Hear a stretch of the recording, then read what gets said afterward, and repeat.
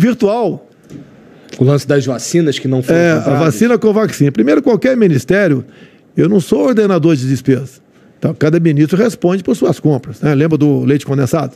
Lembro. Ah, pô, eu comprei 4 milhões de reais de leite condensado para mim. eu, eu lembro das próteses penianas também. Próxima peniana. Até brincando aqui, foram poucas, acho que foram 20 ou 30. Pô, no exército só tem 20 brochas, pô. Pô, tá certo? Só 20 brochas no exército. É, igual, por exemplo. Olha essa a- aí, Cid. Ah, também o comprimido lá, Viagra, Cialis. Sim. Foram 300 mil comprimidos. Pô, um cara normal. Mas isso não passa pelo senhor, no fim das contas. Não, não passa, né? Um cara normal vai usar um Cialis, uns 300 comprimidos por ano. Se você botar 300 mil dividido por 300, só mil pessoas estão usando isso aí. Agora, o Viagra e o Cialis é usado para outras coisas. É verdade. Tanto é que ele existiu, não São foi. vasodilatadores. né? Isso, não foi para combater a, a disfunção erétil. Não foi, foi para outra coisa.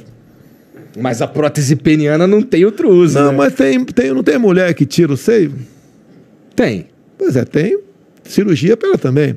A próstata peniana, o elemento tem relação sexual, por exemplo, e quebrou o instrumento dele. Tá. E quando gente, a gente escuta falar de um colega, né? Nós nunca É, quebramos, não, os colegas, nas os quebraram.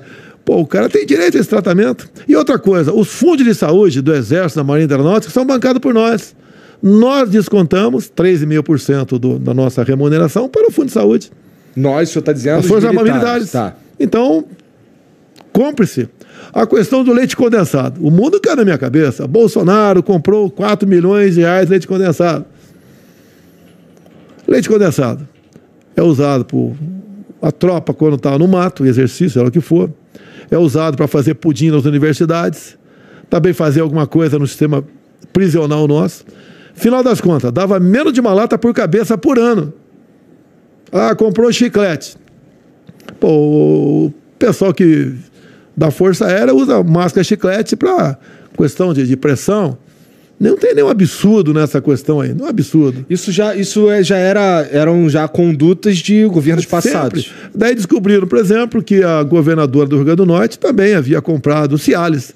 E corretamente, não vou aqui dizer que ela está errada, corretamente. Daí baixou a pressão do- da petralhada, baixou um pouquinho a pressão. É vida. É, o lance do leite condensado eu, eu usei no, no,